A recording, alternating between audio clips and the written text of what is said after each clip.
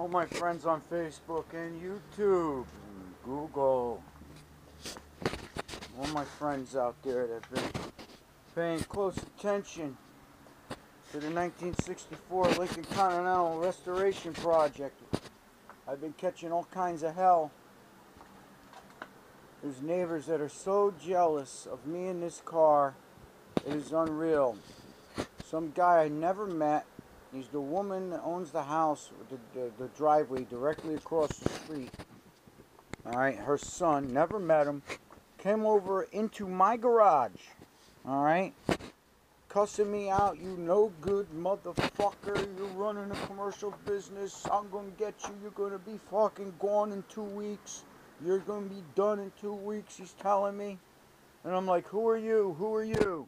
You know, and the guy's pointing and cussing, calling me a no good motherfucker with his finger this close to my face, screaming at me. Alright? So, that was enough. I went after him and he ran from me across the street and behind the house. So I called 911. And the police came and they arrested him. Alright? Now I bet you that's going to start World War fucking three over here now. But I had no choice. I mean, you know, do I got to kill the fucking guy? I mean, honest to God, if he comes over here again, he's going to get hurt. I mean it. He's going to get fucking hurt.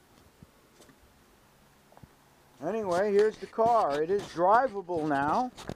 Although there's no back seat and most of the interior is not in it yet and the rest of the exterior ain't on it, but it is drivable.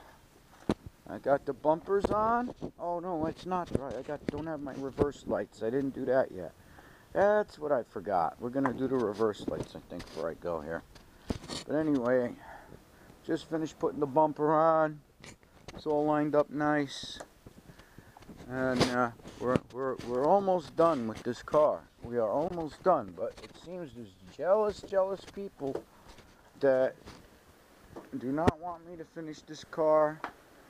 My back is turned. They run into the yard and run out before I even know it. And they do something like this panel here is a finished product. And someone came over here and did Zorro with a fucking pencil on it already. You know? Uh, I'm fucking sick. What what drives people to hate me? I don't even know these fucking people. All I'm doing is minding my own fucking business, working on my fucking car. And they're saying I'm running a business and uh, uh, this ain't no business. It's my car. It's been my car for a very long time. Been back and forth to Florida three times with this car. Oh, this isn't right. This is off a little. My front bumper's off a little bit. Uh, I'm gonna have to adjust that tightened everything, didn't I? Oh no, it's not, not even tight. Something's loose. I didn't tighten everything here yet. I just heard something. Oh, it's tight here. That's too much gap. Look at this one. I got it. Yeah, that's half the gap. I can't even get my finger in there. Look at that. I got to do something with this. Something's wrong. We gotta play with the front bumper. It's not lined up right. Actually, I think I'm missing a shim. I wonder if that could be it. Uh, anyway, that's it. That's the Lincoln. I'm still in the wet sanding. Been wet sanding all day over here.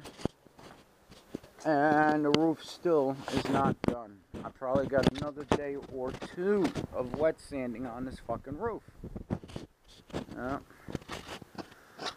Anyway, that's the Lincoln Continental update. Know, I'm so pissed off.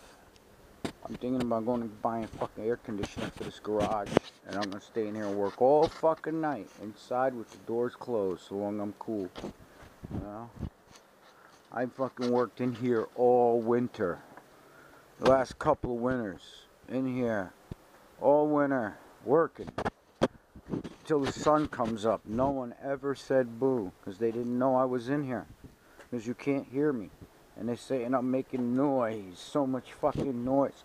You can't even hear the compressor at the end of the driveway. What fucking noise are you talking about? Anyway, that's it. Alright?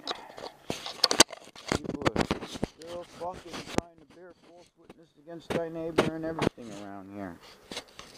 I'm running a commercial business. That seems to be a big problem in Stamford, Connecticut. Throughout my decades, you know, I'm 50 years old. Alright? I've been here all my life. And I've been seeing shit since I was huh, seven years old. You know, the first time I was mugged, I was like seven years old. Unbelievable.